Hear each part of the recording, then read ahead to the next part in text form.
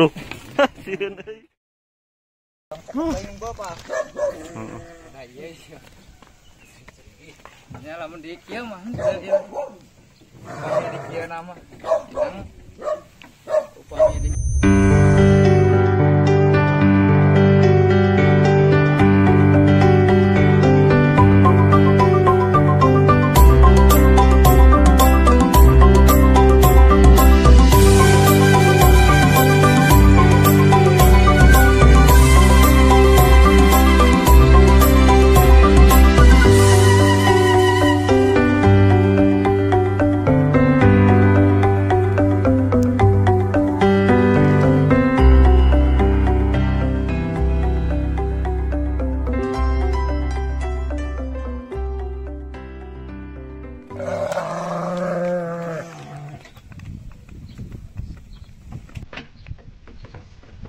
Dia sareng Adian.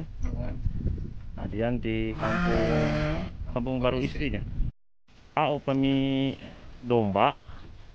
Biasa ada domba adu itu tiasa adu di diadu gitu usia sabaraha lami eta usia awal tahap belajar hampir sekitar 2 tahun.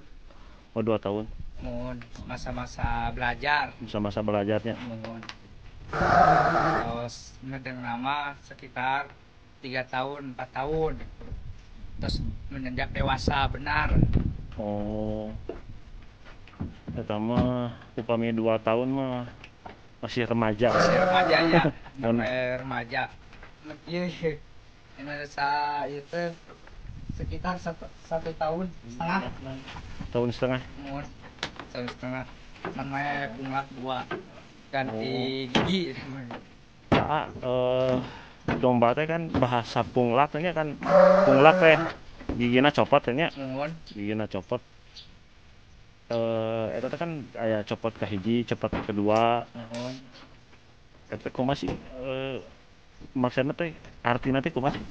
Jinten si paus teh gantos lah paus ageng. Hmm. nu ageng teh ada dua.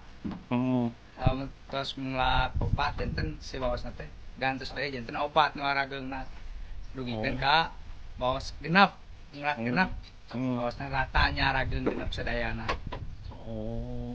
Upami eta teh pengaruhna naon upami misalkan pengaruh. punglak atau nanti nya pantas panglu ngelak dua teh jinten terus biasa di belajar rek punglak punglak dua teh.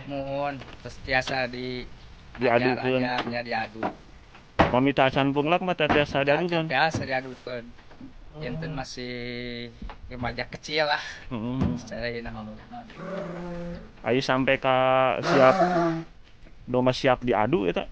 Punglak sabaraha terus semua genep. Ya opat genep Janten di pakalangan teh diadu domba teh kalau punglak ayeuna opat sareng opat deui teh kayak ketinggalan Yuswa.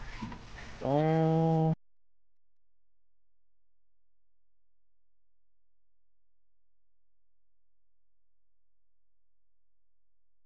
Ya lamun aa gitu nya Ieu kan ai orang Garut mah orang Garut mah kan image teh salah sahijina domba Garut nya orang Garut mah. Pasti orang luar nyebut teh dogar dogar san domba Garut san misalkan sok aya bahasa kitu nya teuy tah lamun ceuk aa ieu salaku orang Garut anu resep kana domba tah perasaan aa ka domba eta kumaha? Maksudna nah emang eh, tos resep atau napai misalkan ningali batur kapangaruhan atau tapi emang tina perasaan emang resep wae gitu karena domba resep we hobi ya oh hobi. Resep, ya hobi. karakter Mm-mm. aya ini moyang. Oh. Surat gitu. Mm-mm. surat ini moyang. Nah, selama memang generasi penerus lah. Mm-mm. generasi. Berarti amanya ti luhur teh tos iya nya Ya. tos kana domba nya. Sekarang domba. Dari keturunan ti luhurna dan kedah aya penerus berarti ya, penerus. Nya si bapak nanang berenang penerusna kok aa nya? Ngomong terus ge beureum kayak Allah. Oke. tapi kedah kedah aya sih. Kedah aya pak. Wajib.